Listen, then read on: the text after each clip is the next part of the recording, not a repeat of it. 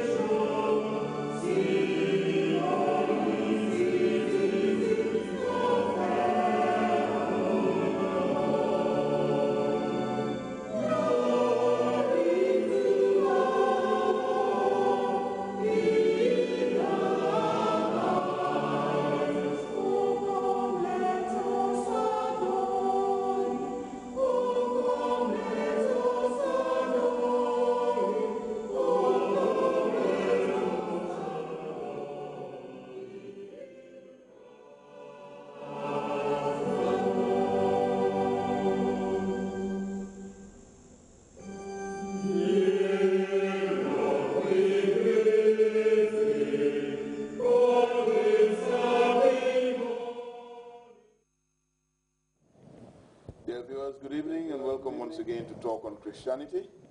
We are doing the program every Sunday, one hour program, Talk on Christianity, discussion on Christianity, and today we are looking at the structure and the work of the Gambia Christian Council. Reverend Junisa gave a brief background of the structure of the Gambia Christian Council and uh, he talked on one word which is very important. He mentioned one word which is very important, and that word is ecumenism. Ecumenism is a very important word in the life of the, the, the church, and that is when the different denominations, regardless of where you are, Roman Catholic, Catholic um, Anglican, Methodist, Pentecostal, you know, which, whatever, come together for a common purpose with a united voice. In other words, it's uni unity in diversity. And ecumenism, you know, it goes more than just a word. It goes a long way. This is when Christian denominations come together and work together for the propagation of the gospel in this part of the vineyard. We've just got a short music break, and now we will continue our discussion, and we would like to open up the telephone lines for your contributions, questions, and comments. The telephone numbers to call, like I said, will be on the screens and are there. They are there. If you are calling from Gambia, you call, please call 4375905, 4375905, and if you are calling international, 00220 So we are hoping to hear from you. In the meantime, we will continue with our discussion. Reverend, Reverend Junisa, um, um, ecumenism, mm -hmm. like you mentioned, brings mm -hmm. all the different denominations yeah. together mm -hmm. and they work for a common goal, yeah. for the common purpose with the united voice. There are so many programs or so many activities that, you know, we, we, we, we take care of in the spirit of ecumenism. One of them is Good Friday. You mentioned one, which mm -hmm. is Sang Mary. Mm -hmm. Sang Mary is definitely a, a, a, traditional Roman Catholic, you know, feast.